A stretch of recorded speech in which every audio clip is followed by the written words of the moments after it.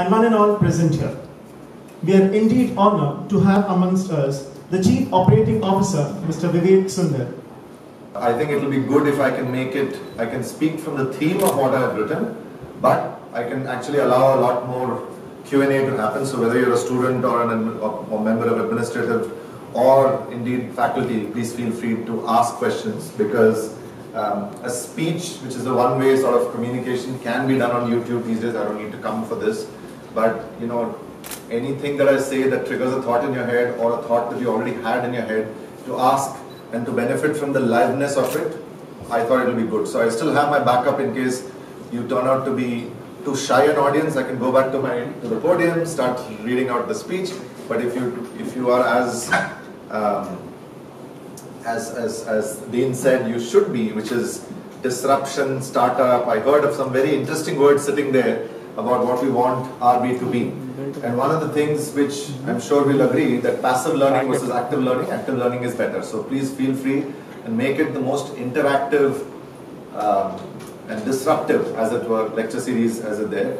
I have the five points that I want to say. I practiced it in front of the mirror um, two, three times saying, okay, even if I don't use the speech, at least those five points I've got to make. So don't worry about my flow. I'll continue my flow, but I would like for you to make it interactive. I think we have uh, 60 minutes. Um, so actually, before I start, um, I don't mind if you basically just say, look, there is something that is in your mind that you would like to ask and you would like me to cover it. If I'm anyway going to cover it by five points, I'll say yes. Otherwise, I'd like to add it to the list of things to cover. Because what I'm here to talk about is not theory per se. I'm a practitioner. I, I do teach, but I do like to uh, say that I'm a practitioner. So if you have any open thoughts, even before I have biased you with my gyan, I think it'll be good if you tell me what's on your mind. What would you like to talk about? You're, you're so small that we can actually make it a conversation. There was a time when I actually attended. I'd gone to IIM Calcutta. Usually the IIM Calcutta classes are like four, 500 people will sit in the class, right? And so it's, it's a full class. You can't really have a dialogue with 400 people. But one time what happened was that my flight got delayed and I still said like let me go to campus even if it means that a few people will not be there because they have clashes. So as it so happened, it ended up being a midnight talk when the flight was delayed and so only about 40 people came out of 400. So this is the only time I've gone to IIM and only 40 people were there. And we just said, come on, it's 40 people. We can't do a lecture. I can't stand up on stage and give a speech. So we actually ended up sitting around like basically here. And this is Kolkata, so it's hot, right? Sitting around here, I was sitting there and we just had a little chat for two hours and then I left. And it was actually the most amazing experience versus the speech that I had. So, so I'm very cool with this audience to actually have a conversation. Is there anybody who has got a thought? Yes, sir. Actually, uh, we are all the users of Swiggy anyway. You're the users At of Swiggy? uh, yeah. Good to hear. Uh, uh, two to three days in a week, our children get into the house. Children get into the house. Yeah, Yes. children yes. get into the house, Yes. we eat anyway. Yes. Uh, but uh, my always say standard question is that there is a lot of wastage which is generated in terms of the Exactly. paper, Plastic paper. packing, packing. Even though some things are biodegradable. Yeah. Uh, but uh, are there any other strategies we can look into Yeah. so that uh, this generation could be avoided? Completely. Yeah, so uh, for those of you at the back who couldn't hear it, obviously he's talking about if people are ordering two, three times a week, there's a lot of plastic slash non-biodegradable waste that is being generated. So what's the plan or what's the way we can deal with it?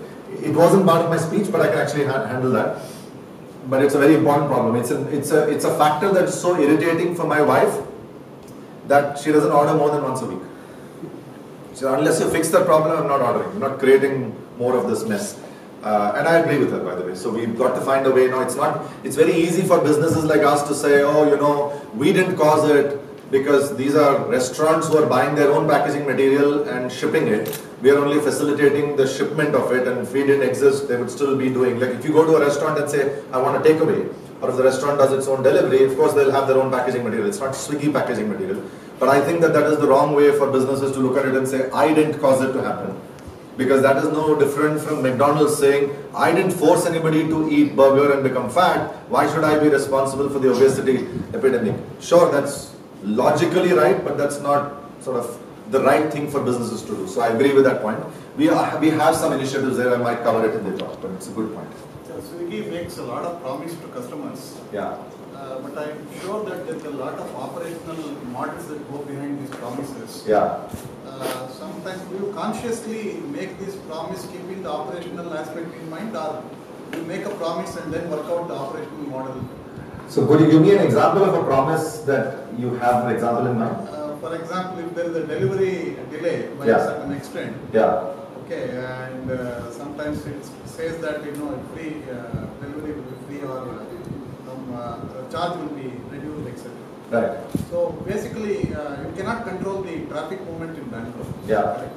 Yeah. So therefore, uh, you never know whether the ultimate last mile delivery will happen as per your uh, expectation or not. Okay. But how do you handle those uncertainty and risk? Okay. Yeah. So uh, that's uh, it's a standard. Uh, it's a good question. It's a part of what is our business operations. So let me actually try to um, handle that. Um, but let me do that. Let me actually cover his because I just realized in my in my conversation I won't specifically talk about the plastic one. So let me just tell you what we have done. We have tied up with um, some innovative packaging manufacturers in India and abroad to come up with packaging material that is biodegradable. So that's one series of work that we have done, where even if it goes into the landfill, within two weeks, it will just become uh, part of the thing because it's actually made from organic material. There's specific materials like bagasse, etc., etc., which are used to do that. So it doesn't matter. We don't have to worry about solving a problem that we can't solve, which is industrial waste collection. So if you throw it, and it will basically be like it's like if you throw away a banana leaf, however ugly it looks, it's not going to be a problem for the environment if you've eaten on a banana leaf, right? So it's like that. It's made from organic material. And the other one we've also experimented with is if we, we can have a tiffin system where people will do a reverse logistics, right? We ship it to you in a plastic and then you can have a, somebody come and pick it up so that keeps getting circulated so that you're not generating plastic. There's two pilots that we have run on, on that one. Hopefully if they, either of them are successful, that would be the future. To your point, so because that is core operations, um, so we deliver over, uh, on a good day, we deliver over 15 lakh orders in the night. Which is a lot if you think about it, right? Every night over 15 lakh um, deliveries happening. 99.2% of those 15 lakh deliveries are happening within what we call either promised time or 15 minutes within promised time. That 60% of them are within promised time, the remaining 30 something percentage are within 10 minutes delay, what we call the consumer acceptable delay. While they're pissed off, okay, you can wait for 10 15 minutes in the case of a delay. It's that point, less than 1% that basically goes completely awry. And those are not because of traffic, because traffic is factored in. We are one of the biggest consumers of traffic, real-time traffic data. So we factor it into the promise when we are making that promise. So that's not the issue. The issue actually that happens is not the traffic. The issue that happens is when there is a bike puncture, right? Or there is some some curfew that is there that we didn't know of, or some you know restriction that is there, which happened a lot during the lockdowns when you know some colonies were quarantined because of uh, let's say uh, became a containment zone, and then the delivery boy or girl was not allowed. Those kind of odd incidents is the one when it will go completely kaput, right? The bike got punctured, uh, or uh, maybe a delinquent DE or a curfew type situation. So they're very rare. So because 95, 98% depending on the city of our promises are largely within acceptable threshold, we don't actually have a problem to make the promise because it's largely true. But of course, if you are part of that list of consumers who got the promise that is not happening, doesn't matter that 99 people were happy, that one person is going to obviously write on social media and you know pretend that the world has come crashing down. Uh, if you actually want to hear, uh, if you want to be depressed in life, one of the things you should do is go to a call center where you have people calling in and abusing the poor lady or the gentleman who's on the phone for a 15 20 minute delay as if the world has come crashing down. Like literally, you're complaining about World War III or what? Food is being delayed. There is a poor human being on the phone trying to help you. Stop screaming at that person just because you're anonymous. So it's just crazy to see that. So I always go to the call center not to help them, but just to take some calls myself and tell the call center people that look, we understand your pain because we just heard, I just had my ear yelled at when I sat in the pain. So on, on a serious note, largely it works. In some cases it didn't. We then figure out what we need to do to change and so on and so forth. But by and large, the answer is the first part of your point, which is we don't make a promise and then say how will we figure it out. We use technology to make sensible promises. And then when the promises are largely being met, that's good. And the cases where it's not, then of course we handle the exception. Cool. Yes, sir. India is a very bureaucratic country and uh, to run, any business you have to take a million permissions. So how do you grow a startup when in such a bureaucratic country? Like everything needs some or the other permission or some or the other e-way bill that is, so how do you grow a startup in such a country? So, um, so have you started a startup?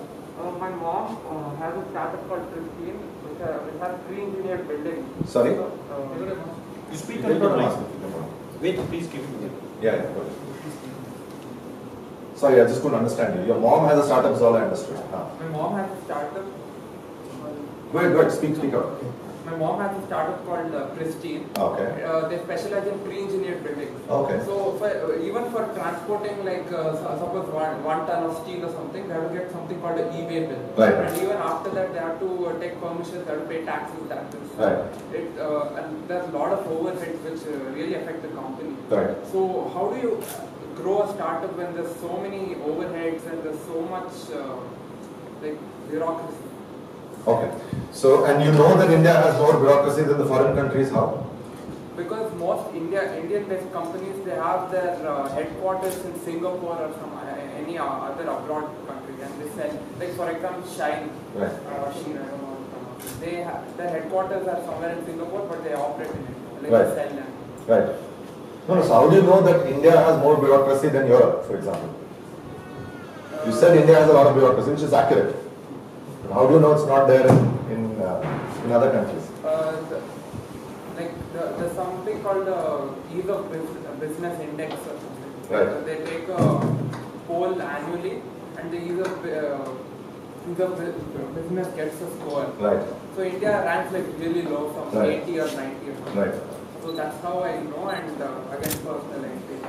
Okay, so so couple of things. One, the vast.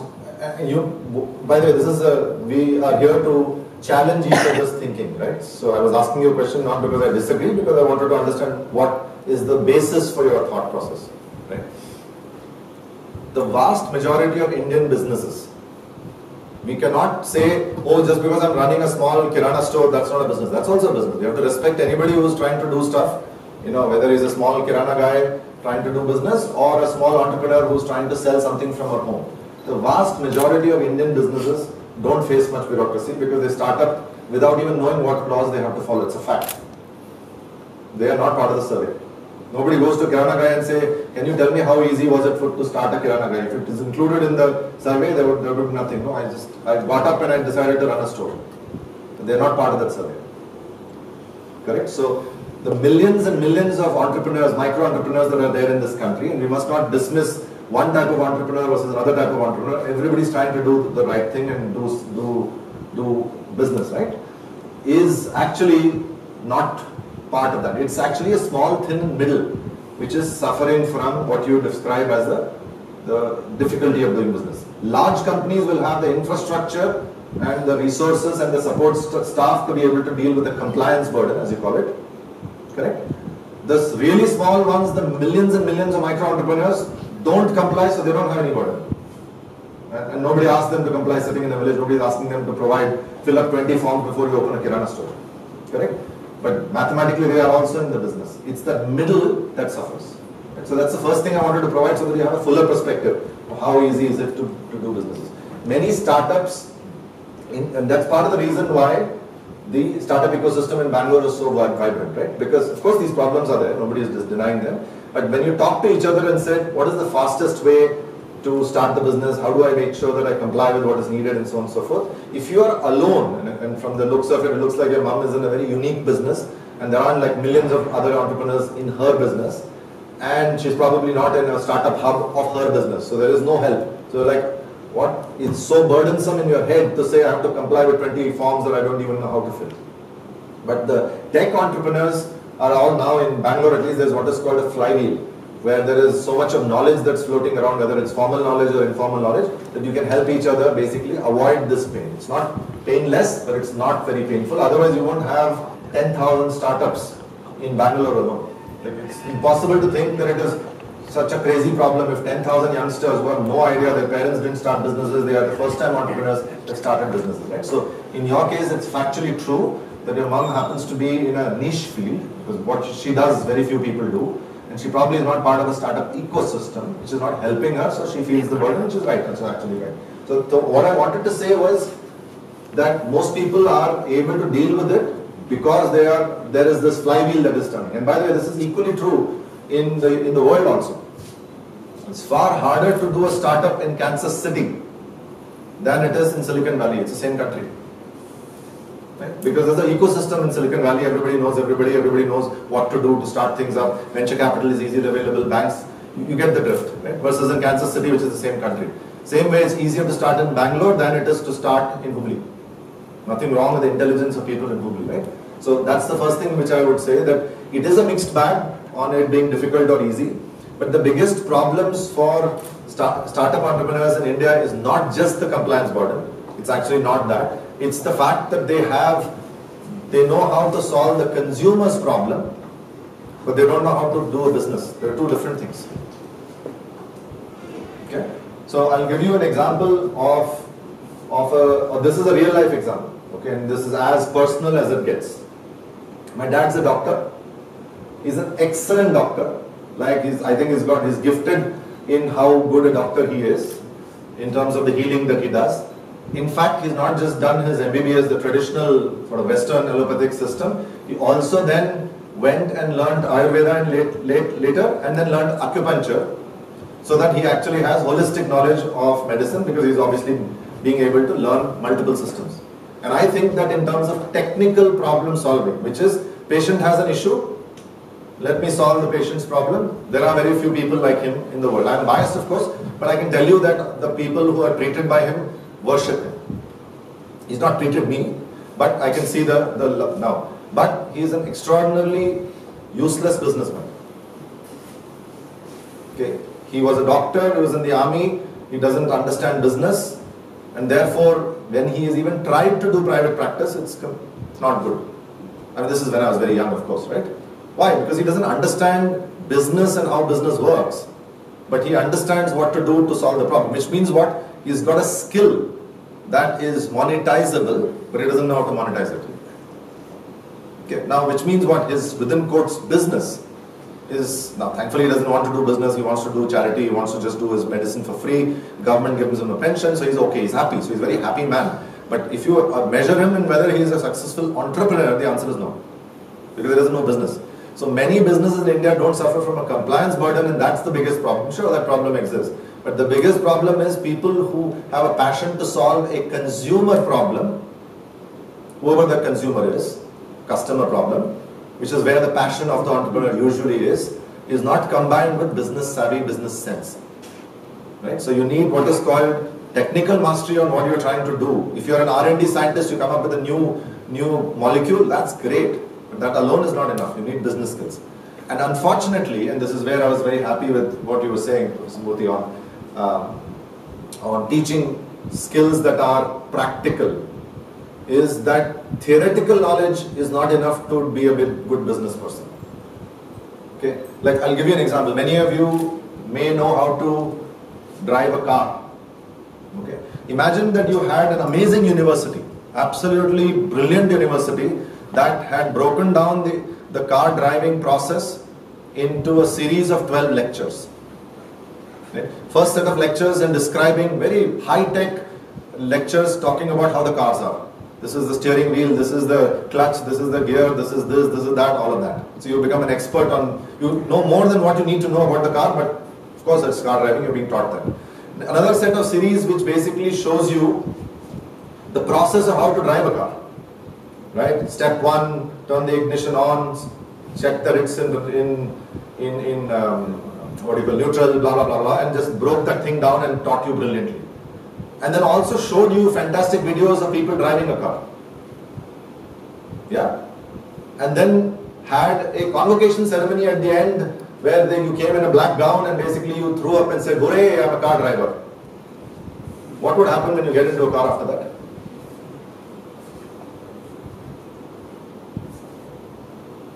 Do you drive a car? Okay, so when the first time you sat in a car, how what did you what did you do? Messed it up? I, I, was, I put the brake the moment it. So you messed it up, right? It's not rocket science, is it? But this brilliant university that is giving you the most cutting edge PowerPoint on how to drive a car is basically going to make you absolutely useless when you enter a car. And car is not even as complicated as a business, yes? So now think a little bit about it. I teach in business schools. I am privileged to have learned from amazing professors in a business school. But it is a necessary but not sufficient condition to say you can be a businessman. 99% of MBA grads, 99.9% of MBA grads will be pretty useless in starting a business. Just like 99.9% of grads from this amazing school of driving, graduates of this amazing school of driving will not be useful, use, useful to drive a car on the day they come out. True? Imagine you've never entered a car. Would you ever be able to drive a car if you have gone through this? The answer is no. Well, car driving is a practical skill, which of course requires some theory. So is business. Yeah. So the problem is not that there aren't good business schools, but the business. The, and that's, this is why I was so happy with what RV is trying to do, which is to say, sure, we're going to give the best of theory, but we will also give you practical, uh, the ability to learn practically how to drive a car. Right. So internships, projects, you know, engagement with with industry on how things really happen is important on business as well. And that's the missing part. We have a very large number of informal business people all the people who are running their kirana stores. They're sort of learning through written trial, father taught you, I sat in my father's shop, etc. Then there's a middle, which is suffering a little bit from the compliance burden as we talked, but equally does not have business skills. And the compliance burden problem can be solved, because it's not a lifelong skill you need to have, it's just one time. But what you really suffer from lifelong is the business running skills. And that's a lifelong problem. Compliance burden, once you got the licenses, you got the licenses, no? However painful it was, you, you have it. You, you understand? So, cool. Anyway, let me get to my piece and then we can come back to any questions that we have. Uh, by the way, your teachers know you very well despite this amazing lockdown environment because the question that you asked, some of your teachers had said will be teachers will be questioned that is in, in the student's mind. So pretty good that even in this sort of lockdown world, the feeling that you have of compliance burden, etc., is felt by the teachers. Because when I was chatting with them informally, they did mention it. So very, very good. Okay, so I'm going to basically do this in, uh, can you do me a favor? Can you, sorry, where's my, where's my friend? Can you um, give me a sort of a close at uh, 45 minutes from now? Yeah, because I have a series of stories and I'm allowing people to ask questions, so may, may go a little long. So 45 minutes. Yeah. Cool.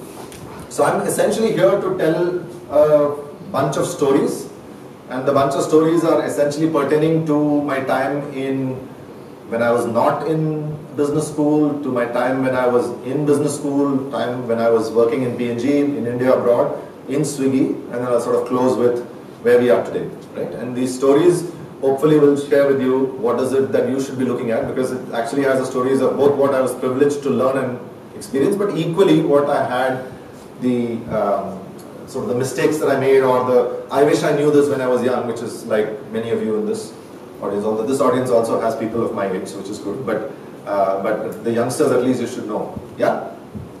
Okay. So I'm going to basically tell you um, the first uh, part of it. So I essentially grew up. I had 14 schools and 12 years of formal education. So from grade one to sort of 12, I was 14 schools. I was telling my dad in the army, so of course we were traveling from place to place.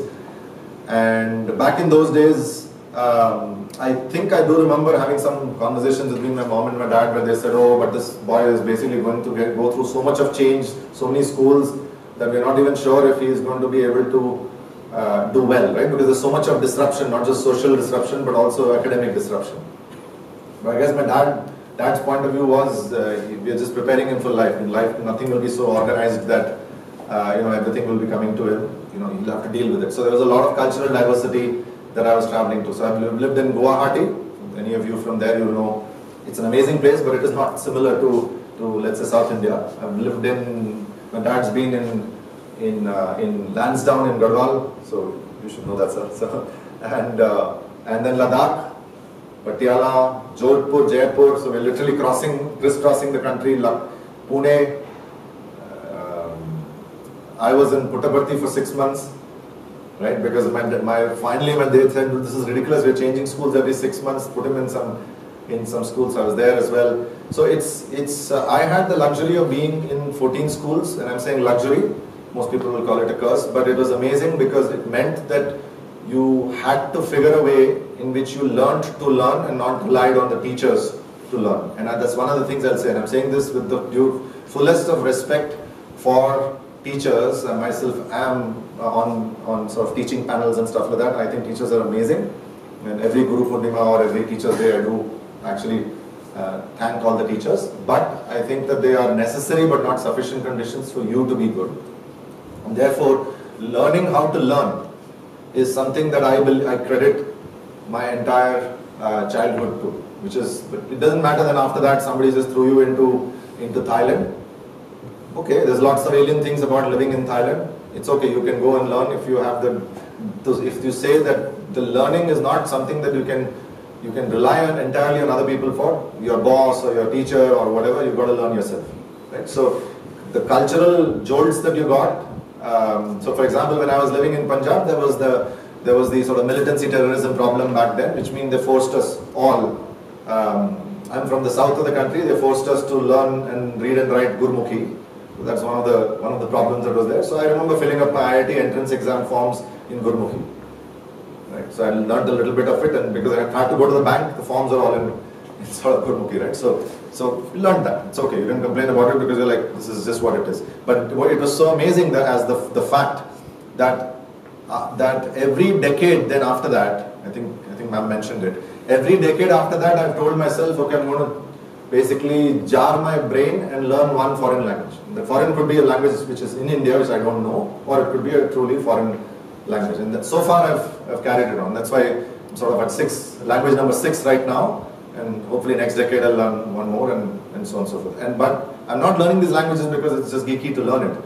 But as a consumer marketer, learning the language and the culture that comes along with the learning of the language is just unbelievable when you're actually either creating an advertisement or you're basically creating a product to sell to them or you're figuring out what is going on in their minds. And that's something which it it and so when i say language don't think of it as linguistics just the pure you know which is the what is the vocabulary and all of that. So i'll give you a very simple example. We have some delivery partners uh, who are ladies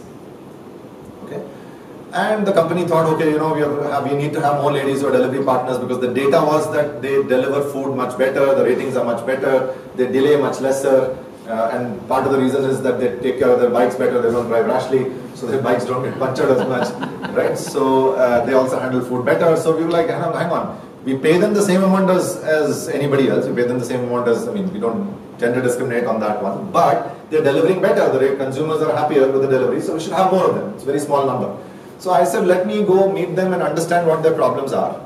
And so very recently we called all the 200 people in Bangalore to a meeting and I said, look, tell me, you know, we would like to have more of you, so why don't you tell me why you joined? What are the challenges? And we'd also like to understand why more of your sisters aren't joining. Because it's decentish pay if you're, uh, and it gives you the flexibility to not to work when you want to work and not work when you don't want to work.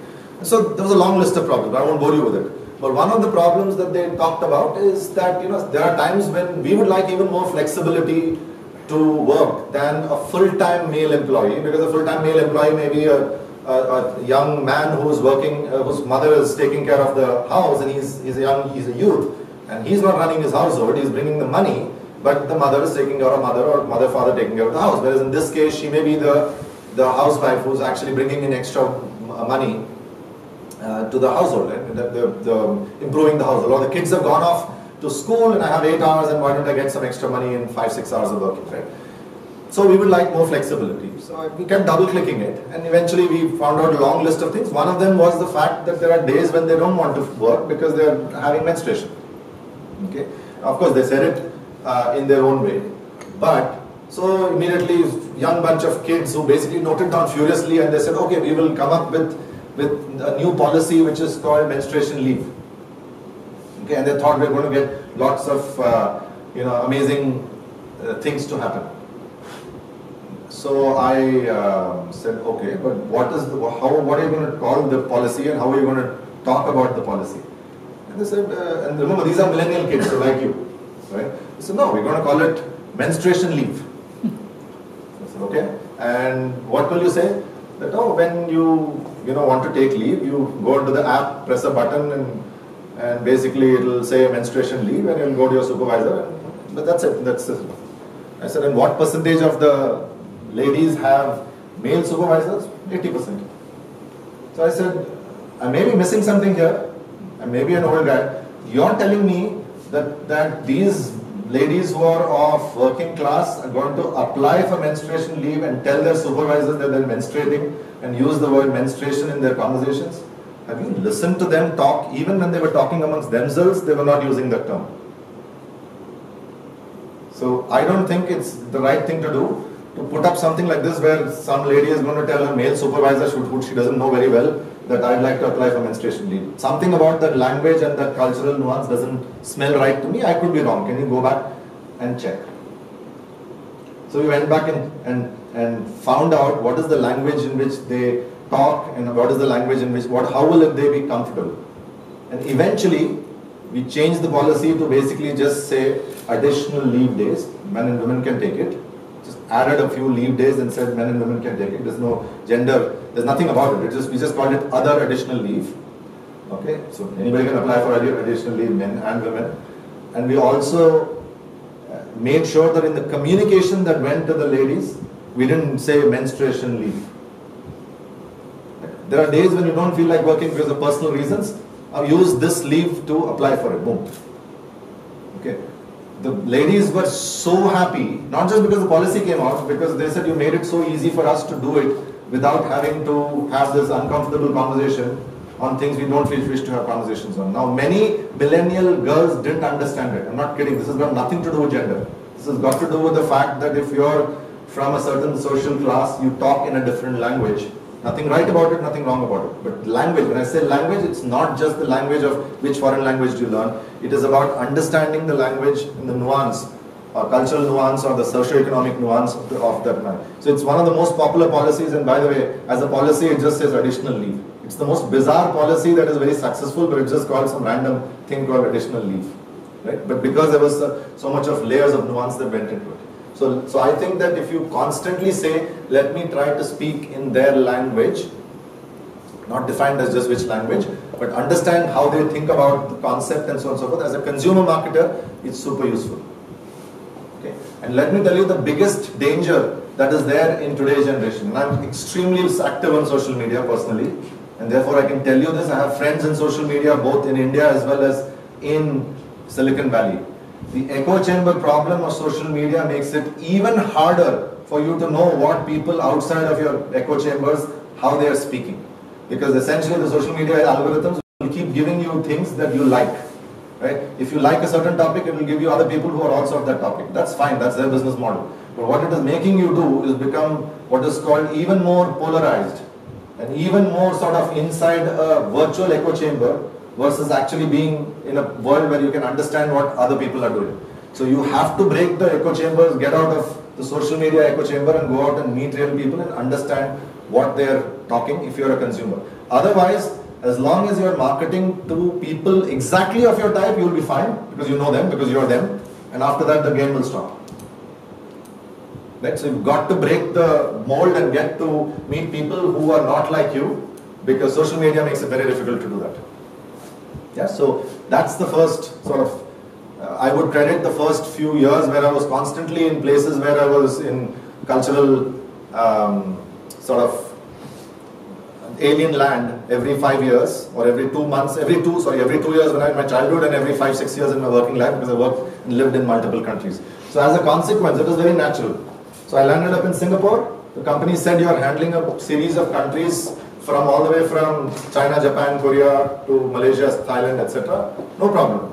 Weekends, I took Mandarin lessons so that when I land up in China, I don't go there and say, here is the card, you know, can you take me from hotel A to hotel B? If you see most foreign tourists who land up in China, they will be worse than, they will be like gung, the Gungi Gudia equivalent. Because you can't read anything, it's Chinese. You can't speak anything, it's Chinese. Nobody speaks English. So if you want to go from airport to hotel, you go and give that hotel card to the taxi driver. He looks at it. He doesn't he doesn't say anything that you understand, and vice versa. He'll take you to the hotel, and that is it. And imagine now that's not the experience that you have when you go to a European country. Not just because they speak English, because even if you don't know understand German, you can see you know, Berlin will be written in Berlin in a language that you can read. Right? So you feel very alien when you go to China or Japan because there is nothing that you understand. So, so, I, so, so that's the first thing which I wanted to say. Drop the echo chambers, get out of the echo chambers, love the time. I'm in social media a lot of the time. Do all of that, but find yourself with people that are different from you, who you perhaps disagree with, who you perhaps don't even associate yourself with, because the real world is diverse. It has people of all types, and it's good that it is that way. And get yourself to learn the real sort of the non-you. The, the you, you don't need anybody to teach you. You will learn that. Learn the non-you. The first sort of series, and I've kept that through, through, through my, um, through my uh, life. So, for example, when I went to Thailand, I spent in the northeast of Thailand seven days with a villager. I lived with them. I did not speak much Thai, just some sign language. I lived with them in a village. Just for perspective, that is the equivalent of any of you who are from, let's say, Karnataka, going to some village in rural, uh, uh, or if you're from UP, actually, let's take that. If you're from UP, therefore, definitely don't speak Tamil, going to a rural village in Thoothukudi and living with a villager. Not going to be a pleasant experience because you'll have no idea. The food will be alien, the language will be alien, you can't, and you're probably going to be in an alien world. That's the equivalent of it, living five days. This is pre-mobile phone. So it's not like I was living there and you know in between I was basically checking my Facebook account. This is pre-mobile phone. Which means that you had to, if they went to the village, um, the, the, the river to get water, you also went along with them. You just lived their life with them. But if I was going to be a consumer marketer in Thailand, I better understood how the real Thais work, which most of them were not in the cities, they were in the villages. Right? Now you don't need to do that all the time, but once you get it into your head that you have to be understanding the consumer really, it just becomes a habit. Anyway, so that's the first thing which I will tell you because many of you will basically be, it's easy for you to be in echo chambers. The next thing which I will talk about is, um, is the time when I was um, in, um, in, in Procter & Gamble and I felt that okay, I was doing well, I was country CEO, happy life, cushy life and so on and so forth. But of course what was happening around me was digital disruption, right? You ordered food on a uh, you, you ordered your taxi on the phone, you bought all your tickets on a phone, the mobile was becoming your life back in, I'm not talking 10 years ago. So I felt that if I don't, so I had two choices. I could have come to a really good business school and did done a digital MBA, mid-career digital MBA to sort of orient myself digitally. Or I would basically say, let's drop all of that, let's throw away all of those amazing life, good salary, good work visits, international career, international this, and come and join a startup. Okay? And that would mean I'm actually getting dirt in my fingernails and learning how to work. So I essentially came to, to Bangalore, joined Swiggy as a chief operating officer. And at that point of time, we were in seven cities. Or actually, when I started talking, maybe we were in four, five cities, big metros basically, right?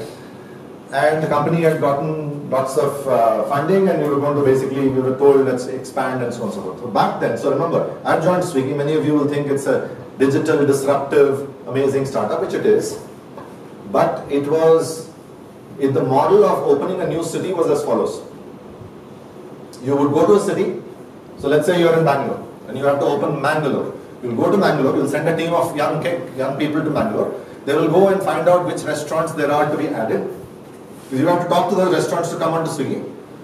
You will recruit delivery partners and bring them on. Okay? Because you have to recruit delivery, delivery partners, train them, give them an app, check their, uh, give them the kit, give them the bag, it's physical stuff, right? And then you will do some local marketing to get consumers to come on to Swiggy.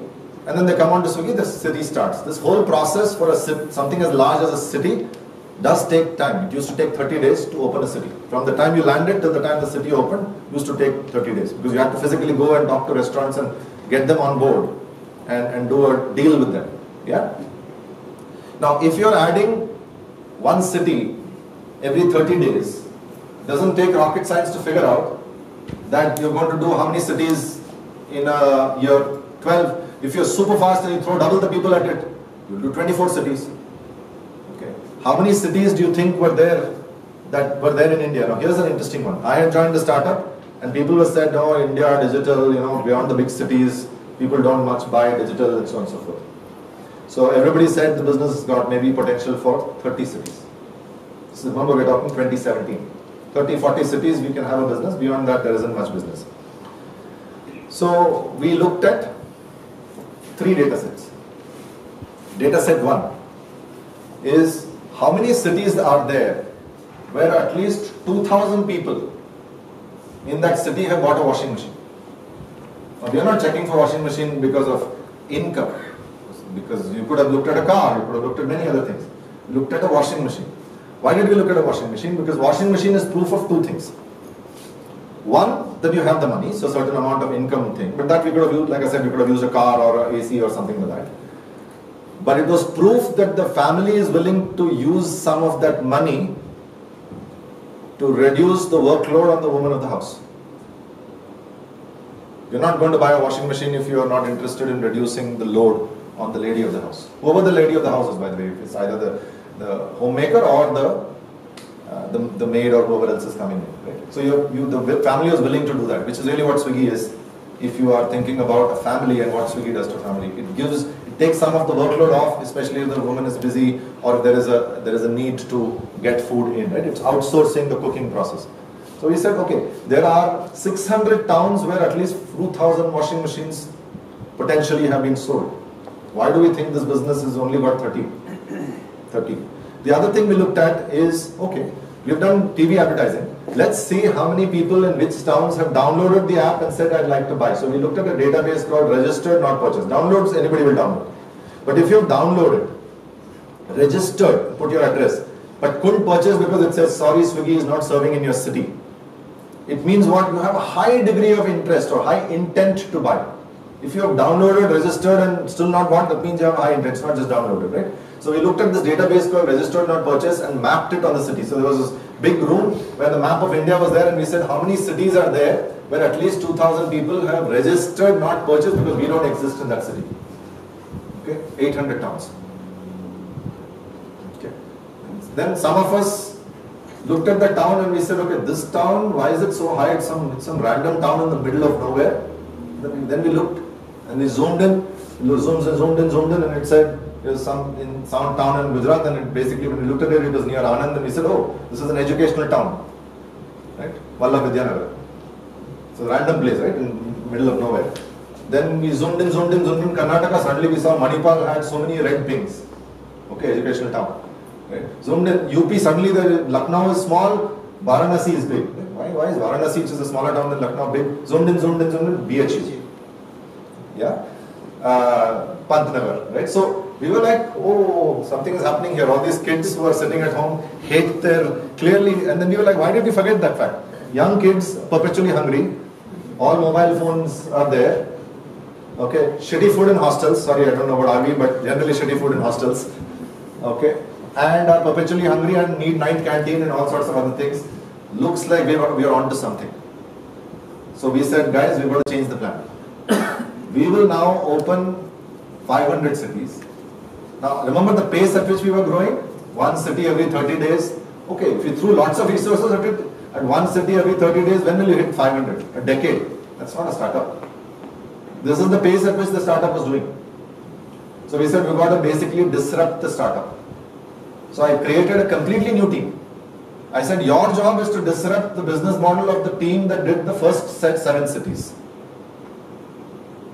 Okay, so inside the startup we created a team whose job was to disrupt this because he said if you don't disrupt it, some new guy will come and disrupt us. And so they came up with a completely different model. What is the model? So we won't visit the town. Because what is the bottleneck? You have to visit the town, put people in a hotel, then go around, walk around, talk to restaurant partners, get them on board, sign contracts. They will work. So we said we won't. We'll sit in office. We will reach out to consumers in these 600, 800 towns. Whenever they see a banner that says, sorry, Swiggy is not serving. We will say below, but we'd like to be there. Could you tell us the names of restaurants that you, think, that you think are good? If you are sitting in some small town, okay, say you're sitting in Sakleshpur, okay, and you open up the thing and you suddenly see Swiggy says, sorry, not serving you, but it says, tell us which restaurants you would like us to bring in, we might enter your town. I don't think it's too hard for a student to basically enter and say, these are the four restaurants I would like to have on. So we got the whole country's restaurant database. I assure you, Google did not have that. If you go to, if you use Google in Bangalore, fine, it works. But if you use maps and Google restaurant information in really small towns, it's crap information. Uh, definitely was crap in 2017. right? So suddenly we got real user data into which towns are important and how many restaurants are there, all sitting here, and it came parallelly within the space of 20 days. Boom. This would have taken us three years to collect. Okay.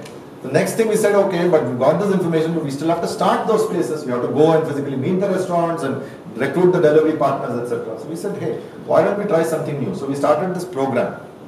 We said they're so desperate for us to visit. Okay. So don't share it with anybody, but we are the only people, usually people, the, usually companies serve customers. Usually, and so did so does we. But we are the only people who have used customers as unpaid labor. okay. So we said, oh, we would like to visit your town, but you know, you're still, which is factually true, we're still a little further away. Would you like to be the CEO for Swiggy in your town? Which student sitting in Sakleshpur would not like to be told, would you like to be the CEO of Swiggy in Sakleshpur? And, and most of the times those colleges we would not have been visiting anyway. Right?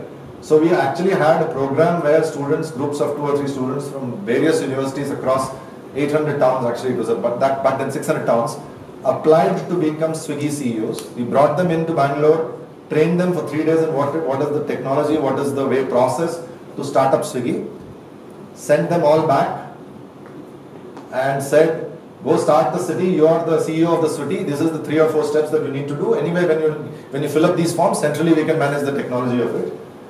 And so Swiggy started in 350 towns without a single Swiggy person visiting the town. Never mind visiting, most Swiggy people don't even know where the town is on a map.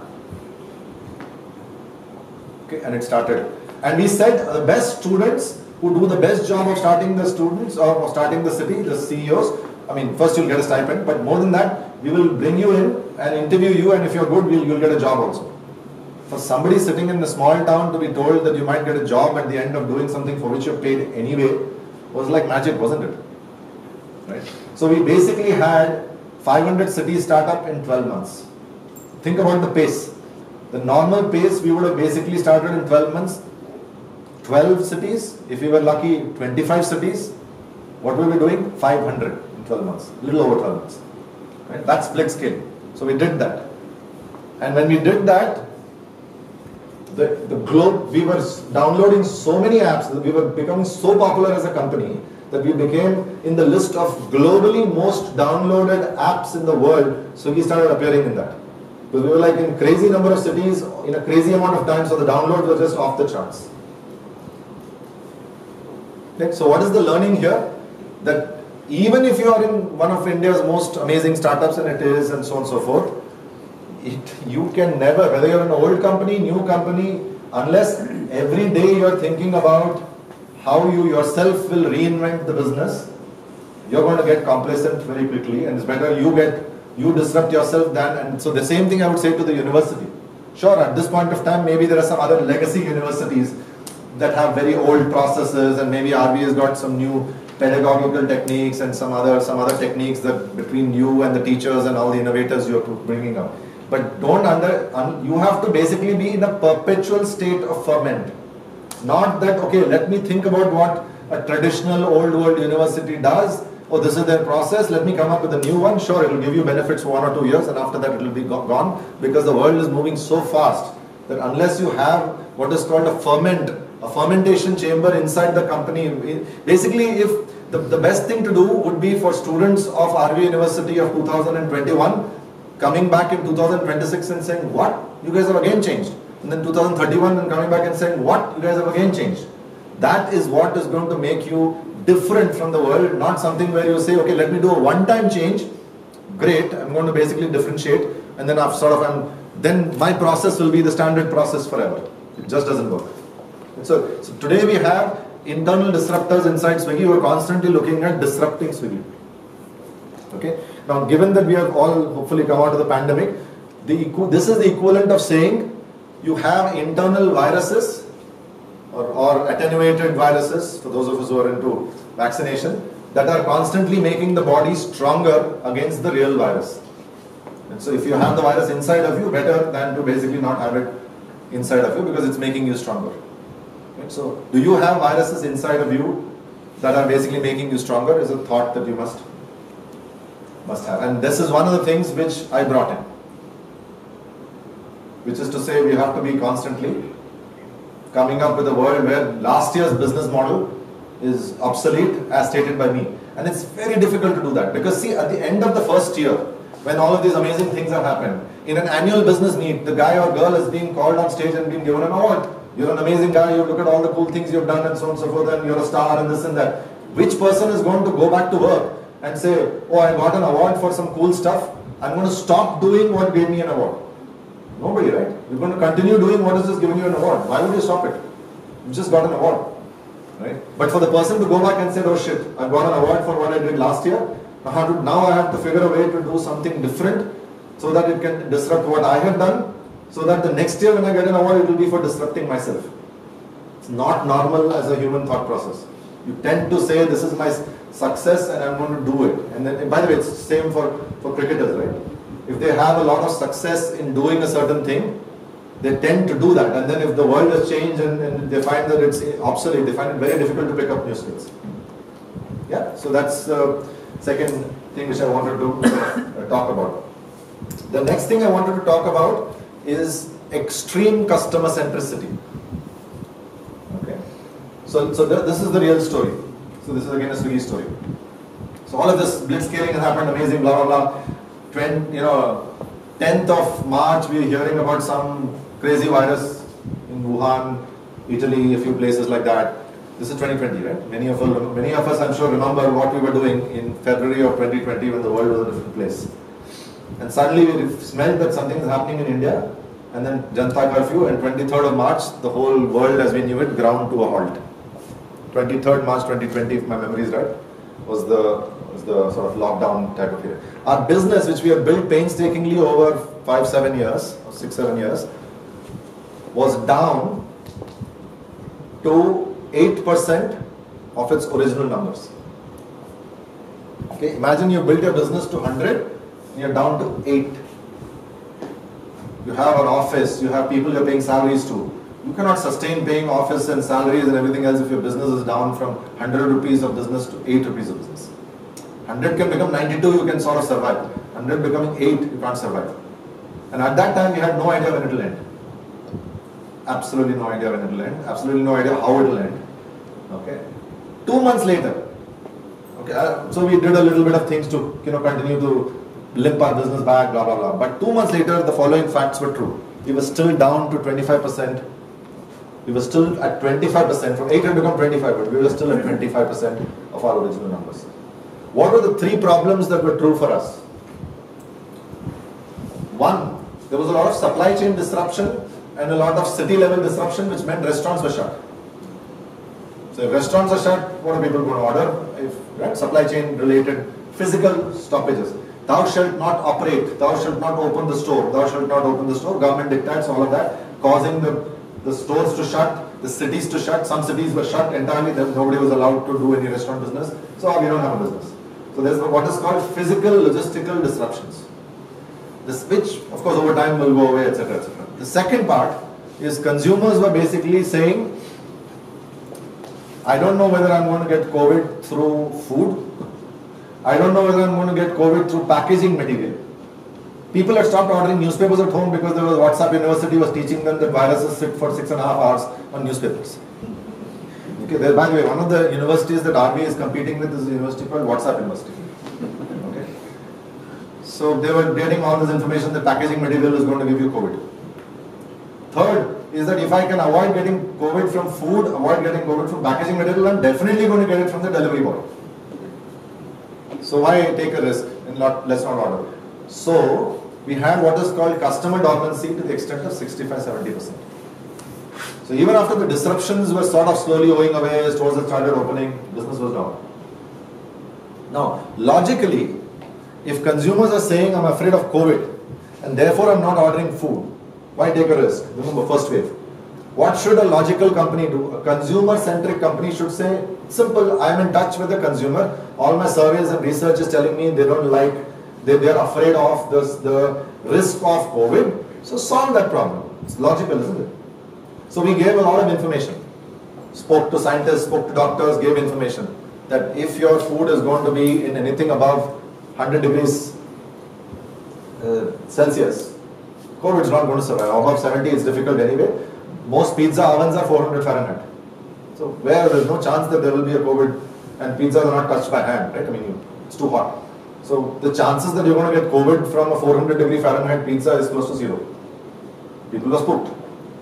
But so we were giving them scientific information. The next thing we were doing was to say contactless delivery. You're not going to see the delivery boy or girl. He's going to drop it on your desk and go away. So you're not seeing him. So no chance of meeting him. So we had contactless delivery, right? And we write payment, digital payment, contactless delivery. The third one was we showed to them that packaging material doesn't cause COVID, but the dormancy number, after all the scientific marketing is put into them, digital, etc., etc., the number moved, dormancy number edged up a little bit. So that 25 became 35. 65% of the population still out. So we said, okay, we are probably thinking about consumers as perfectly logical beings. So perfectly logically when they justify why they're not eating, when you perfectly logically explain to them that it is it is safe, they should change. Didn't work. So we went back to the good old marketing behavioral science and understood what was the behavioral science rationale to get them to change. What is going to change behavior? If you've studied nudge theory or behavioral science or behavioral economics, you'll understand how consumers who are not, who are sort of somewhere between perfectly rational and perfectly emotional beings, they're sort of in the spectrum. How do we change this population? So we said, so the, the net insight of that is it doesn't matter what you tell them and how much scientific evidence you give. Yeah. They're going to change if they see their neighbor change. Because they'll say, my neighbor, if he's got COVID, I know BBMP will come and put a tape around him. So there is proof if he is safe, if he is sick or not sick. sick yeah. So if he is been ordering and there's no tape around him, he's not got COVID, it means it's fine. So we started giving information to consumers in two ways. One was when you started ordering somewhere in October, November, you would basically know that in your building so many people were ordering. In your building. Now if your neighbors don't have COVID and they're ordering, why are you sitting there like a afraid, cat? Okay. Next, you would have seen the ads. The ads had this thing which says ting ting, and then obviously because the ting ting happens, the three people open their doors, and you see your neighbors in a, in a building complex, and this one guy is looking and saying, "You've started ordering." He says, "No." He says, "Not just me. I've been ordering for a long time, but crores of people are ordering." Where is the scientific data there? Nothing. It was going after what we call social proof. There is a certain type of social uh, behavioral science bias called social proof. So we said, let's apply social proof. In addition to all the scientific stuff we were doing. We did that campaign for 51 days during the IPL. This dormancy number came back to near normal in 51 days. Okay. And it's, and it's amazing when we ask them, आपने क्यों order चालू किया फिर से after that, right? It's not like they said, oh, I read this amazing scientific journal that had basically had, had five peer reviews and everything else that says that COVID is, uh, is not going to be caught. None of them actually had read anything. They said, no, no, इतना डर थोड़ा डर चला गया था plus हम देख रहे थे आगे आसपास भी लोग ऑर्डर कर रहे थे सब ठीक है okay and so that is what got over 10 million consumers to start reordering again right? So the important thing, and the point I'm making is most people think about this term called be customer centric in a very literal sort of a way. Listen to what they're saying and give them exactly what they're saying. Sure, I mean that's actually true. But what we were basically doing is applying extreme, by the way, I was personally doing every day for 150 days, that's nearly half a year, consumer calls there aren't that many companies in the world that will actually have the senior management team and the juniors sitting and having consumer calls every day, including weekends, for 150 days. Because during the pandemic, there was so much of chaos. Some city was going through this uh, stuff. There were some other problems in some of the cities. We didn't know what was happening in the 500 cities. So we had to basically make sure that we are picking up the different trends and micro trends across groups. But we, when we got this thing, we basically applied it. And today our business is back. In fact, it's bigger than before. It's more profitable than before. So the new funding round that has just happened has happened because of two reasons. One, During the pandemic, we started new businesses like groceries, etc. Some of you may have done grocery delivery in Instamart. And secondly, our regular business is back. So people say, oh, this is a company that we should reinvest back in because it's back, back in a bigger, better way than possible. Yeah. So the important thing is, sure, all of it is taught in business school. Everything that I've just said is taught in business school. But the practical application of that is, is what essentially we did on steroids, and that's why we were able to get over it. All of this, anybody in, in here, the teachers who teach behavioral economics will tell you, yeah, of course, it's a very normal process. Yeah. So here, here I'm standing in front of you with giving you three or four stories, but you will find that that all of them have one thing in common, which is you you have to. And this is the last thing I want to say. Many people will say, "Oh, I love, I this is my passion." Somebody will say, "My passion is." Painting, or my, my passion is movies, or my passion is gaming, or something, and that's fine. You can have those passions. But almost nobody, in, and some of you will have seniors who are in corporate life, uh, working as engineers, etc., will say that my passion is work. Right? Almost nobody in business will say, in fact, they will say, my work life balance is bad. What does it mean? Working too much. Okay? Just for a moment, think through this. Think about anybody who has achieved amazing things in their chosen profession. A movie actor, a film star, a cricketing star. Do you ever hear? Um, do you ever hear a cricketing star saying, "I have work-life balance issues"? Ashwin sitting is sitting there and saying, "What the hell, man? Why am I being paid for being out of the team?" right? In corporate life, he'll be thrilled. I'm being paid for not doing my work. He'll be very happy. But he is saying, "I'm not being, I'm being paid, but I'm not working." Within quote, that's his work as a professional. Right? So a lot of the times people don't put in what is called 110% at work because actually they think work is only for salary. I'm going to get my real passion and joy in doing other things. And it's perfectly fine to have other interests. I like photography, I like music, I like a lot of things in a serious way. But you have to really like the work that you're choosing to do. Otherwise, over a 25 30 year period, you're not going to be good at it. You'll just be sort of middling. You can't basically say, I want to be a rock star, superstar in the world, and kind of only partially like your work and say that I want to have an escape, I want to do this hobby, I want to do that because actually my work life balance is messed up. So you've got to find a way, and I think this is something you will find is true for almost everybody who's had the, the, the luxury of, of uh, you know, good teachers, good coaches, good environment to have sort of risen through and done things that you will find they are absolutely passionate about the core work that they're spending 9 hours a day on or 10 hours a day on. You cannot do it for 30 years, or in my case, I've been working over 25 years. If you basically sort of partially like it, you've got to really like it. And when you really like it, then you don't complain about work-life balance. You just don't, because that's like that's like asking a musician that you're going to have two consecutive concerts. I hope you're okay with it. I hope your work-life balance is not in bad shape. Right? Or you'll be playing more um, games. No, they just love it. Just think about anybody who has achieved amazing success in any field of life. They love it. They may have other interests, but they love it, the it being it. And what you will find, if you don't believe me, speak to seniors of yours who are working in industry, they will find that they are basically complaining about work and saying, I have my passion in other things. And they don't, they don't have passion in work. So find a way to like what you're doing and you will find that you're not complaining about work-life balance. You still have other interests, but you will absolutely be brilliant at it because you will be surrounded by 99% of the population who's going to not really like it. So it's not that difficult to be successful because, especially in business, because most people don't like the work they do. Yeah, so that's sort of my last point and I know we are over time. So we can probably have any questions that people may have. I deliberately want to leave the last one by saying most of you are going to go into a piece of work that you're not going to like. That's that's why it doesn't matter what you've been taught, doesn't matter which college you came from. You're not going to be successful if you don't like to love, learn to love what you do. Sorry, sir. Yeah. That will be great. It was absolutely incredible to hear your personal experiences and anecdotes. Just loved every piece of it. Thanks for Thank you. the word. Uh, one basic question I just wanted to ask, Yeah. which is more on the brand front. Yeah. So if you look at just about probably even two years back, Yeah. we had at least, you know, if you look at some four or five brands in food, food delivery space. Yes, yes. Or we had Food Panda. We, when we started, we were 40 food delivery people. Okay. We were not number one, I think this mentioned.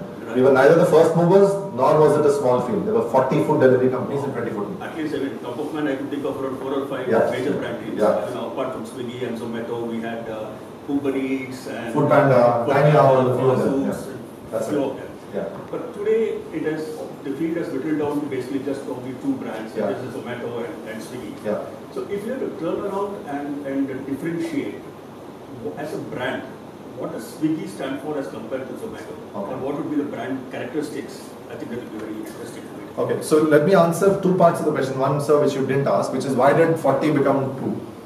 And second is what differentiates the two that are? Consolidation had to happen, I guess, so that extent. Why, why was the number 6 player had to become number 1? You're, you're in a crowded field of 40. Why is it that this number 6 became number 1, right, and stayed number 1? I think the difference is this, is, uh, including the early founders and, and early employees and all the later people who joined, the obsession to be customer centric was off the charts. You could just see that that obsession was there about customer centricity. In fact, the head of customer experience is amongst the most empowered roles inside Swiggy. Right?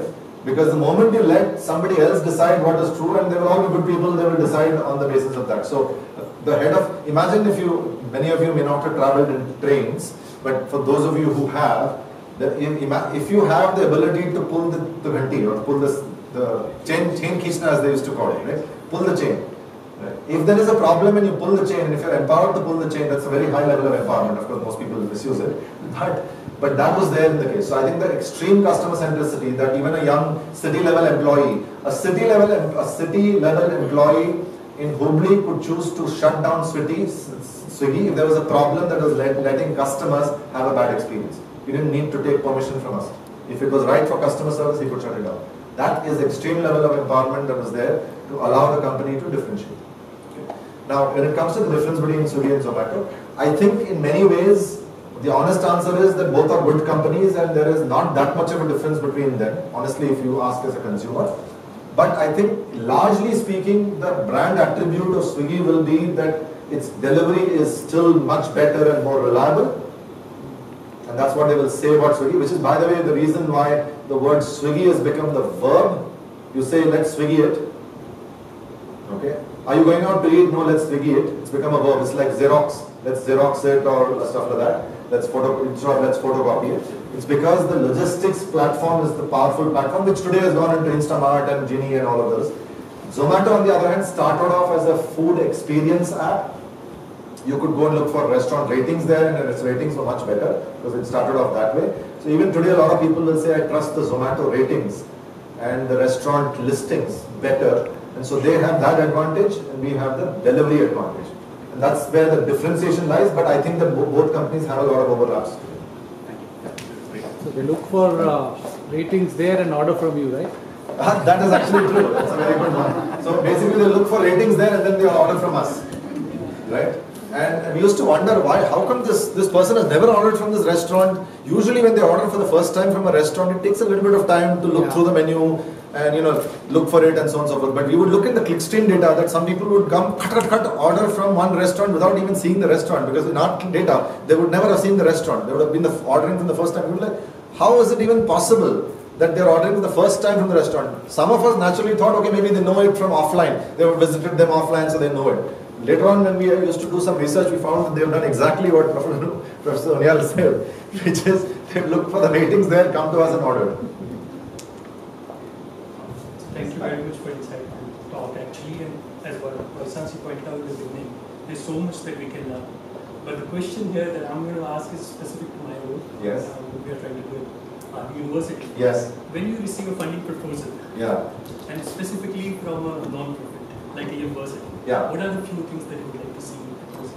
A funding proposal maybe? For uh, to fund an activity or fund a let's say university's activity or uh, establish a chair professorship or anything in a university or non-profit organization. To a Swiggy, for example? To Swiggy or you as a leader if you have uh, See, here, here's the thing. every company realizes that its true asset is not the money in the bank. Especially now where money is looks like the, the Americans are printing money like there's no tomorrow and it's all flooding all over all over the world. But it's assets assets are people. Right? And the war for talent is so crazy. That's why you read, especially in Bangalore, you'll read funny stories about engineers being given BMWs to join and all of that uh, funny things. So the war for talent is the crazy war. War, and it's true, right? It's, it's as true as it ever was.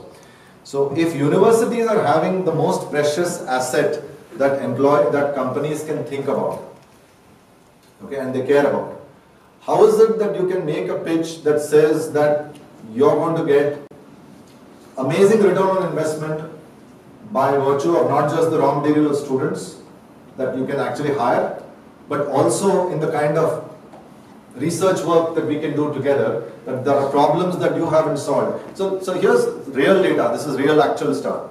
The behavioral science point I was making right now, and some of you, especially Professor O'Neill, I think knows what I'm talking about, is that I knew a dean of a business school that had done his PhD in behavioral science, and he was teaching that as an elective to students.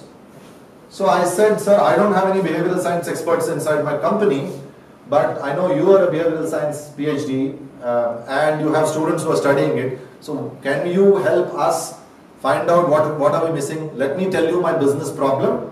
You use your expertise and, and theoretical knowledge along with the students and work with us to solve the problem. Honestly, I paid zero rupees for that. If I had gone to a consultant, I would have got crap data anyway.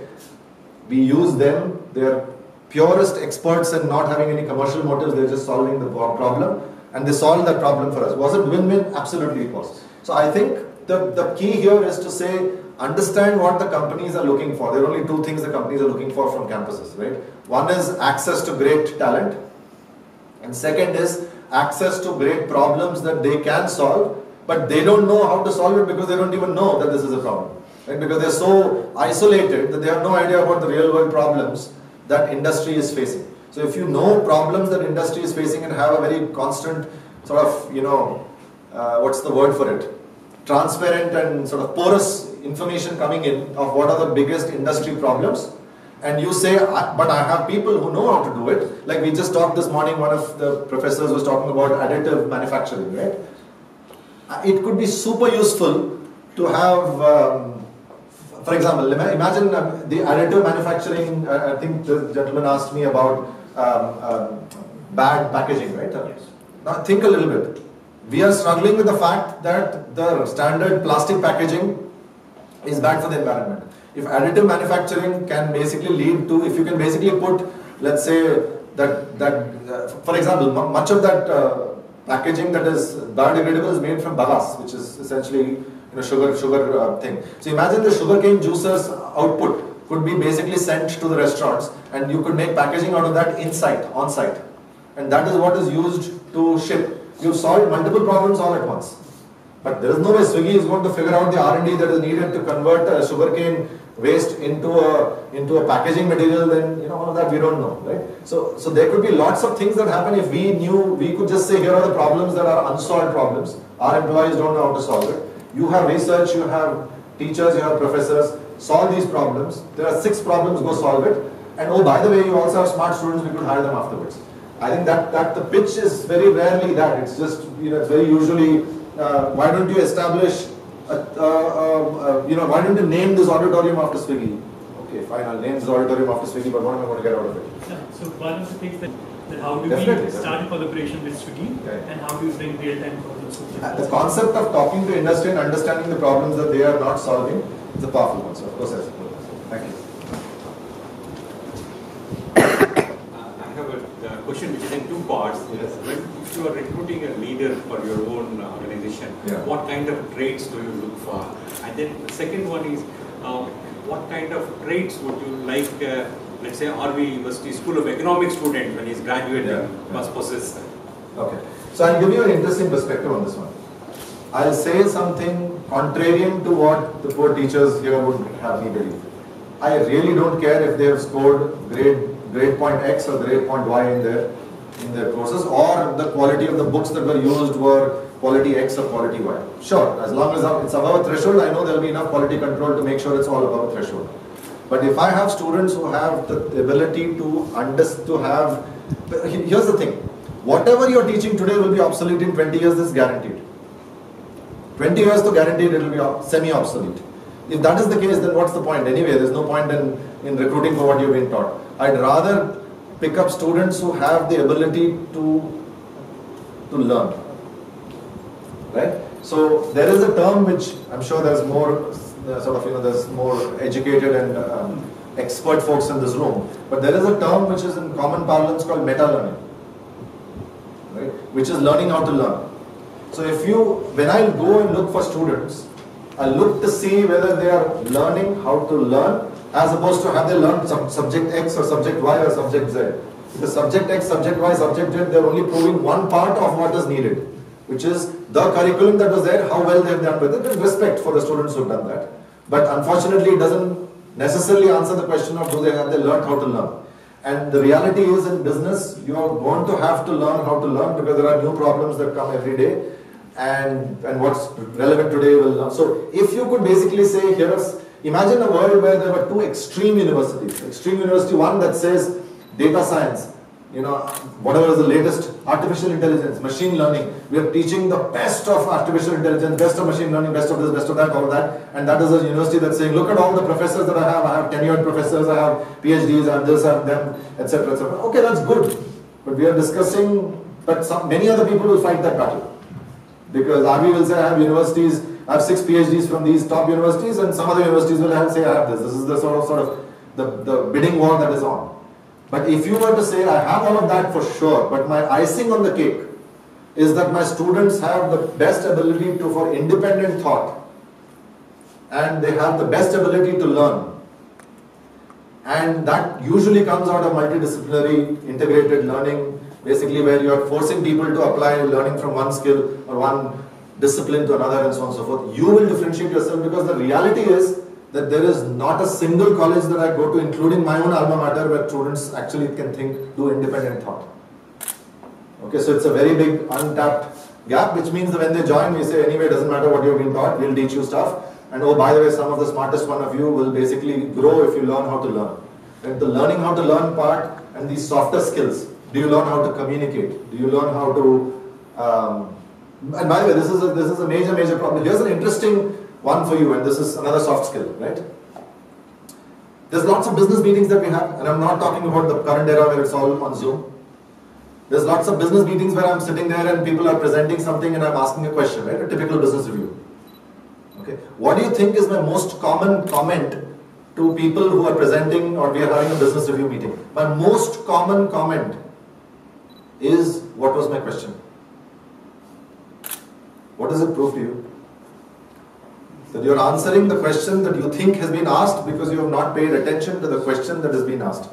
Which means what? What is that? What is that zeroth skill that you're lacking in? Listening. Active listening. Active listening. Just calmly first, can you just repeat the question in your head to start with? Okay, and everybody will think, what kind of nonsense is this? Of course, we have, you know, God has gifted us good ears and good brain. Sure, but but but when you're in busy and you find that you're not doing active listening, hearing, you're not able to replay back what has been what has been asked and what has been said. Okay, so the most basic of skills, which is, um, do you are you able to read the body language of your colleague? Actually, let me ask the question differently. What percentage of managers get a surprise and a shock when their direct reports leave? There's a lot of attrition that happens. Generally, that's a, that's a problem because suddenly now I have a project that is got unstaffed. What percentage of employees do you think have multiple times hinted to their managers that they are not happy and they want to leave? Almost hundred percent. Almost hundred percent. Nobody just you know is happily skipping to office every day and making and truly happy. Next morning comes back and comes and says, "I'm going to quit."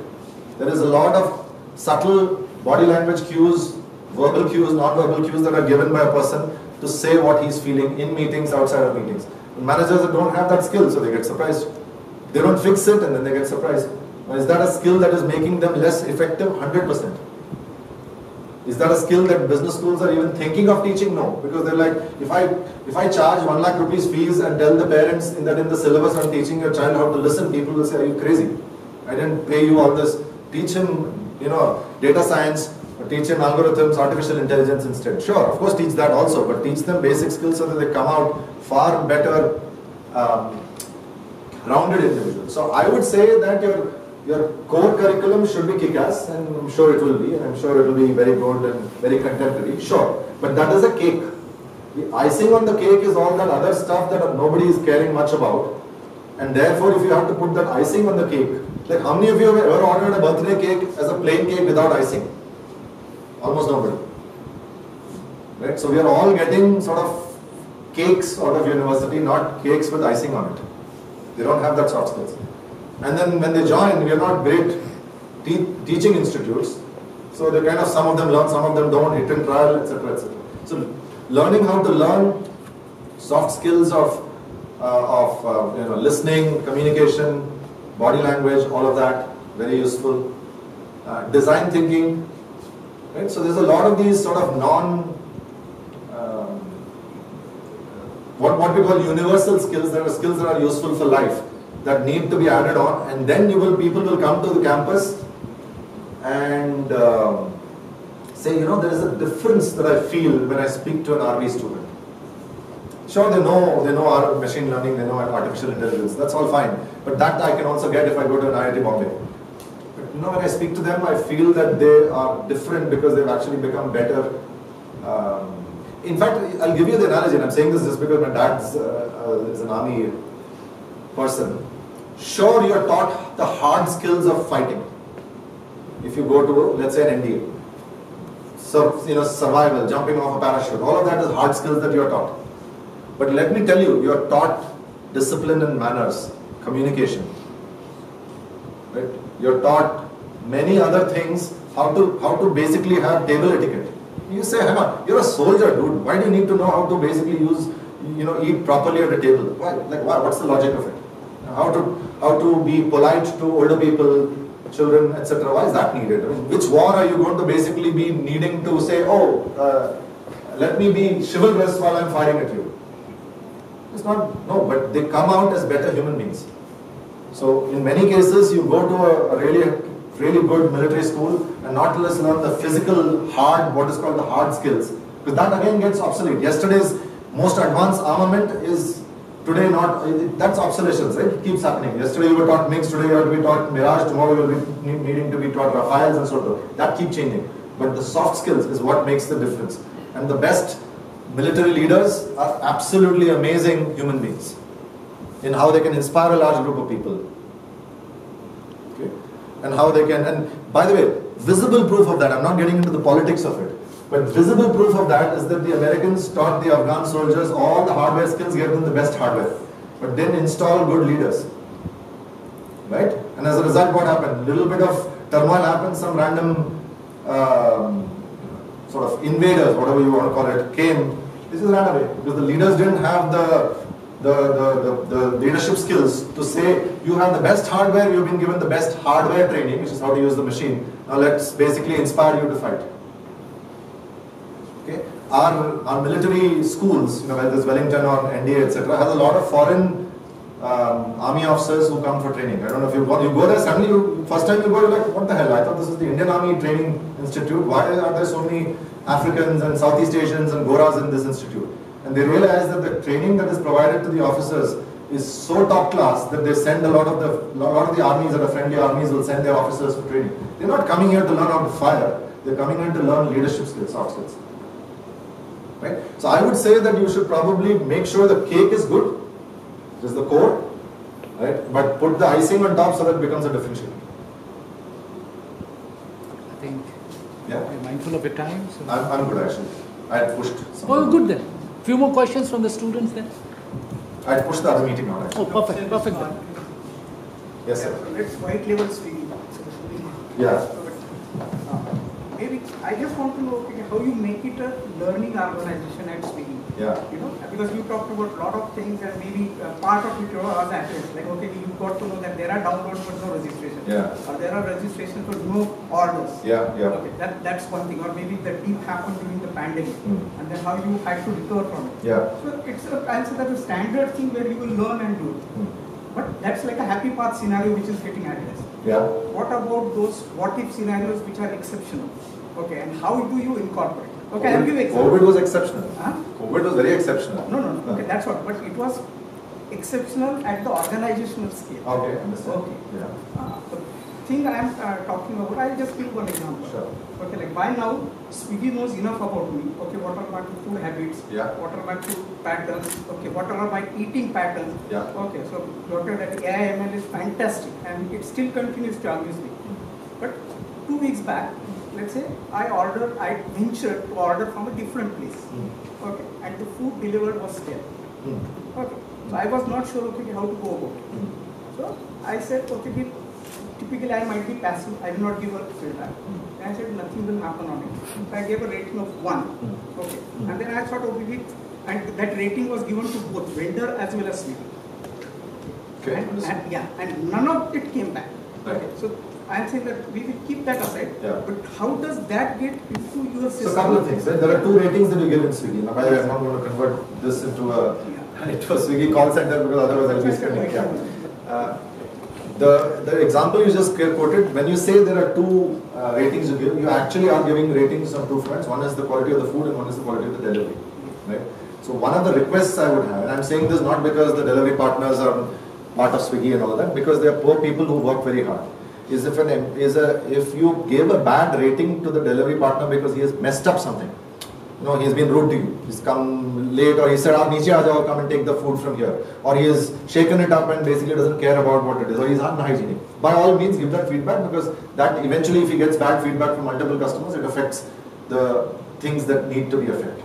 Right? So that is fair. But if the food itself is stale, the delivery partner has nothing to do with it. So the two places that you're giving feedback to, the one of them is unfortunately going to go against the delivery partner. So one request I have is just give feedback in the food case of the food being stale to the restaurant, not to the delivery partner. That's just a personal request I'm saying because that's not fair to the delivery partner. In this case, he'll be safe because nobody else, if he's otherwise a good delivery partner, the rest of the ratings for him will be fine when he's delivering another 20, 30 orders. Right? So that's the first one. But now on the food being stale, what happens is that we basically feed this thing back in an individual as well as a group manner to the restaurant every week. Okay. Now for the restaurant, and then we say to the restaurant, if the restaurant falls below a certain rating, it starts affecting their commercials. They start going lower in rating. If they fall below a certain threshold, they are even taken off the platform. Okay. But if it continues to keep falling, they start getting into lower and lower volumes. They start getting penalized and so on and so forth. Not by us, but by the way the algorithm directly works and so on and so forth. So eventually the system catches up with them and therefore they are constantly giving stained food. They will essentially get um, sort of worsened as it were.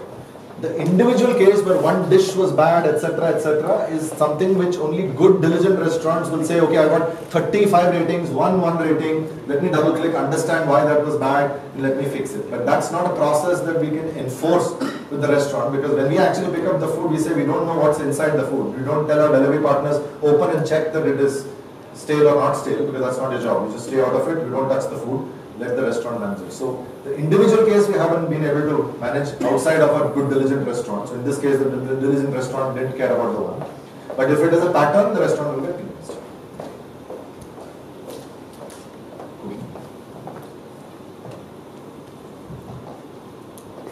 Yes, sir. Can you please use this and keep a little closer? Do the people's fickle-minded work for your favor? Can't hear you. Do the people's fickle-mindedness work for your favor? Fickle-mindedness. What do you mean? Like uh, if there's a new change or if there's any new thing, so they would, you know, opt for it and. Uh, like Sorry, who's people? others? No, no, the consumers, including me. Okay. And uh, it's just like others are doing it, so I'll also do it. And uh, like, the sheep goes. So, you- so if I understand, you're saying the consumers are fickle or not fickle? They are. Okay. In what way are this? Are you saying they are fickle?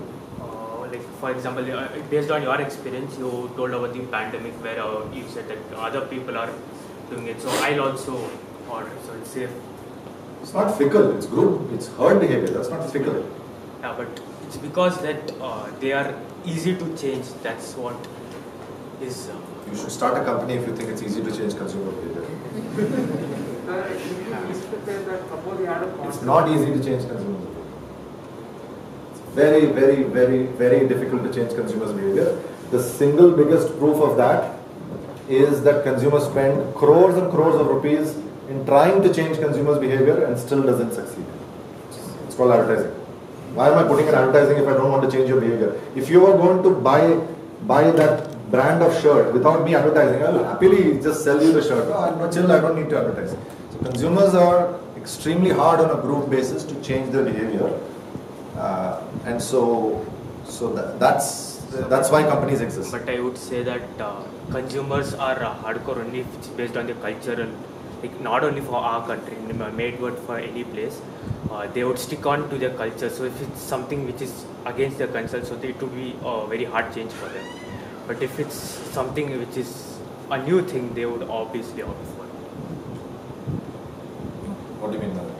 Like, uh, Sir, I think you need to say, like, for, for example, a few years ago there was a controversy. Snapchat said something against India. Right. Everyone in India started rating one star for Snapchat. So, Right. right. telling, suppose something like that happens, how will you handle it? That's a very different problem, right? no, no, okay. That's a that's a different problem. Snapchat said something. By the way, like, can I tell you something? Since you're on social media, 50% of the population would love to click. I love environmental causes, but basically not care about what they're doing. So this level of what is called Twitter activism is pure bullshit. When we have a logout campaign against Zomato, you go and physically check how many people have stopped ordering from. Technically, we should be dancing when there is a logout Zomato campaign. Ah, cool, everybody is going to delete the app. Nobody does it. Okay, because it's all very cool to say, oh, I hate it, let me do it. So consumers don't change their behavior unless there is a deep change. It's all, it's very nice to, how many people basically say, oh, you know, um, uh, Earth Hour is happening, I'm going to basically support the environment.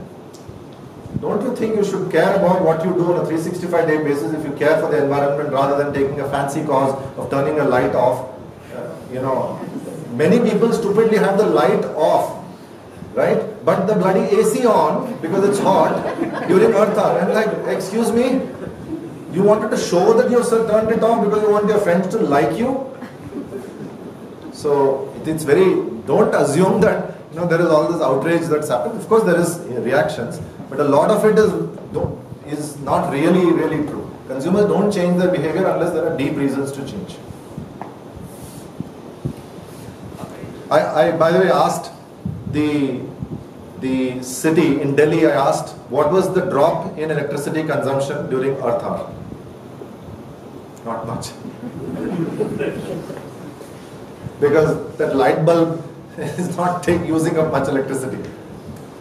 Oven chal raha hai, लेकिन earth of हो रहा है hello turn that thing off if you have to so don't don't believe everything you hear on social media it's built for hype it's built to give you negative emotion don't believe everything that you read on social media good or bad i'm not making a political point good or bad don't believe it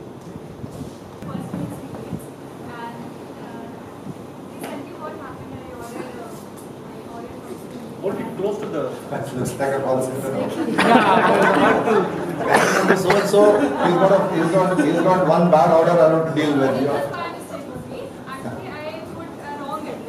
Right. And it got delivered on the uh, wrong address. And Right. the uh, boy, he started calling me and he said that uh, I'm at this place and I realized, oh, I uh, uh, coincidentally selected the wrong address. Right. So what happened? uh, I got a call from the customer care and I asked her that if you can like take, and she said the cancellation charge is equal, equivalent to the uh, order. Yeah. So I said, okay, that is fine. I know that is my mistake, but I said that uh, even if you know I can like extra delivery charge and you can you know reschedule my order, then but uh, but they cancelled my order and they did not like uh, the delivery boy like said I, I, wo- I won't be coming in delivery and it somebody who got treated on my behalf on my behalf but Yeah. I like I my, my like I lost my money also and did not get the order. Right.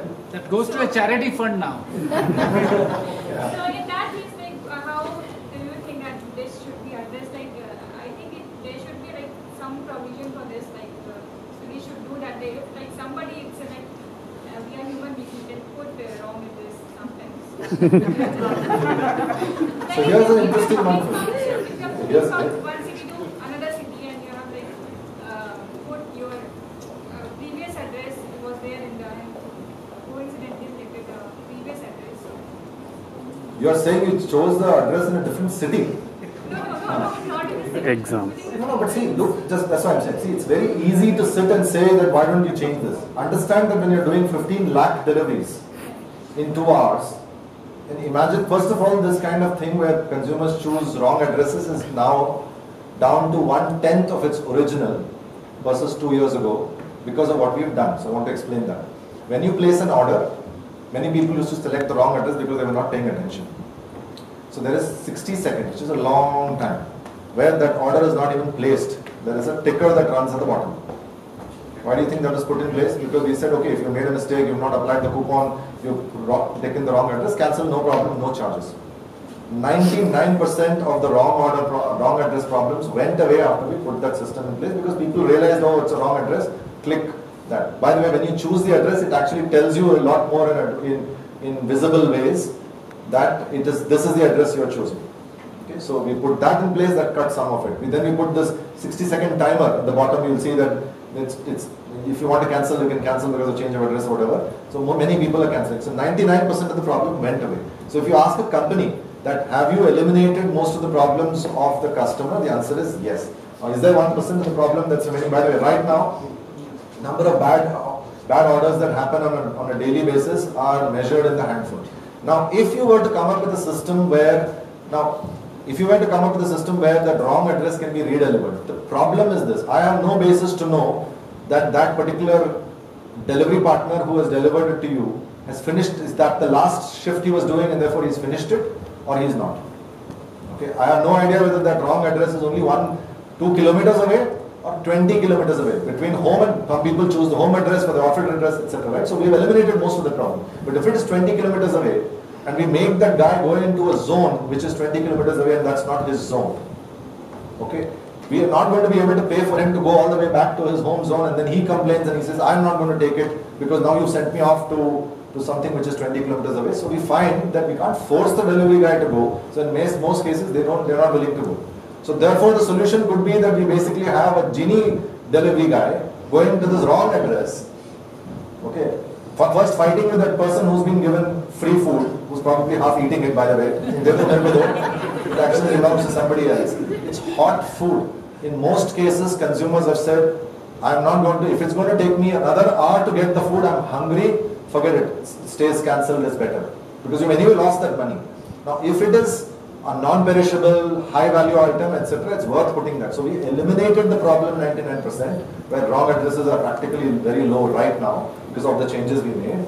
Rather than trying to put an elaborate new system in place where you're going to send a genie guy to a person and then the person goes, by the way, there is no guarantee that if the food came to you and it was completely messed up and completely cold, you will not then say this food is inedible after all the effort that's been taken. So because it's the problem has been minimized to almost nothing, there hasn't been a priority to go now fix the small number of problems that remain.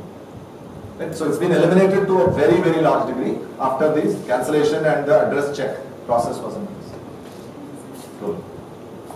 Okay, I, I'm good with time, but I'll let you decide for. One last. I'm good. In large companies, usually it takes a lot of time to bring a small change or something like that because there are a lot of board meetings and uh, board meetings are held. So how does Swiggy internally work in that aspect? You worked in a large company? No, no, no. I heard it in some TEDx talk. So That? They compared Kirana stores and large companies. So the the, the speaker was like, in uh, Kirana stores, uh, you know, the shopkeeper can uh, make decision very quickly. Suppose he wants to put a discount on some uh, Yeah, product. yeah, yeah. But in large companies, uh, it takes uh, months together to change something. Uh, suppose a business. See, first of all, these are all what is called nice, easy, clickbaity stuff. Right? It's very easy to say that. The fact of the matter is the Kirana store owner is a human being who's probably putting 10 hours of work. And he's making 20 decisions in that hour. Agree? Who has who does he have to align? Nobody. Probably not even taking his wife's permission before he's making a change. He's deciding on his own. Okay. In a large company, the CEO is walking into office. He's also a human being who's got 10 hours of work. He's also making some decisions. Is he making less decisions than that individual store owner? Maybe, maybe not. He's not working less hard than that guy. He's making larger decisions and maybe decisions that are worth many more rupees and therefore he's making it in a collaborative fashion, which is no different from If I asked you right now after this talk, you want to go out and eat somewhere, how fast will your decision be? Relatively quick. Because you have to decide yourself. Suppose I said, can you choose, can you pick up four of your friends and decide where to go? Will it be as fast as if you were to decide yourself? Why would it not be? Because there it was your choice and here you are asking four of your friends. So you can either choose to say, I am the dictator amongst my group of four, I'm going to decide you will come with me, which is not going to make you very good friends with them. Or you can say, let me collaborate because we'll make the decision that is best for all of us, because we're just making a group decision, let me decide.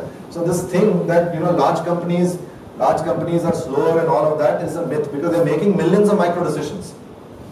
They're making millions of micro decisions. The reality is that um, there is a decision being made in Amazon in headquarters in the, in the US, and there's a decision that's being made by Amazon in decision in here in Bangalore. Most cases, the Amazon decision in Bangalore are not going back to US to say, can we make the decision? They're making millions of decisions. Correct? So if you look at the sum total of decisions that are being made by a large company, it is definitely going to be more than what that one Kirana guy can do as a single person. Because remember, the parallel processing, lots of things happening, right? It takes Swiggy. There is a Chennai city head who's deciding, oh, Pongal is coming up, what do I need to do? He's not checking with me, what do I need to do? Right? The Durga Puja folks are basically figuring out what to do for Durga Puja in Kolkata. They're making a decision. Is that a decision? Yes. Is it a large company? Yes. Is it multiple decisions being made? Yes. The key, pro the problem is if you basically have a slow company that is a big company that is basically not having the right decision making frameworks or the CEO is too risk averse and he's saying any decision nahi lete hain. That's a bad decision making company, not slow versus large. If you sigma the number of decisions that large companies make, it is often run, going to run into millions. Right?